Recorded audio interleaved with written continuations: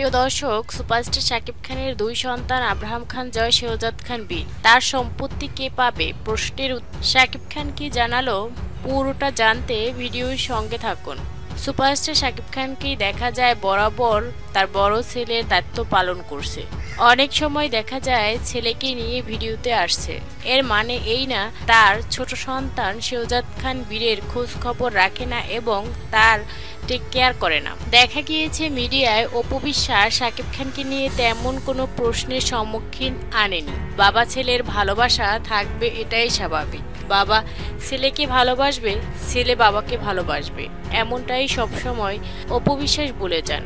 অন্যদিকে বুবলি শুধু আক্ষেপ নিয়েই সবসময় কথা বলেন। তার ছেলে শেওজাতকে ভালোবাসে না, খোঁজখবর রাখে না, তার মাসের কোনো খরচ দেয় না। এমনই অভিযোগ আনতে দেখা যায় স্বপ্ন বুবলিকে। অন্যদিকে উপবিশেষকে এমন অভিযোগ কখনোই করতে দেখা যায়নি। শাকিব খান বলেন, যে যাই বলুক, যে যাই করুক, আমি আমার দিক থেকে আমার সন্তানদের প্রতি দায়িত্ব পালন আমি নিশ্চয়ই করব। সবার যা যা বলার বলুক, কিন্তু আমি আমার দিক থেকে ঠিক রয়েছি। সাকিব খান জানান, তার সম্পত্তির ভাগিদার দুই সন্তান।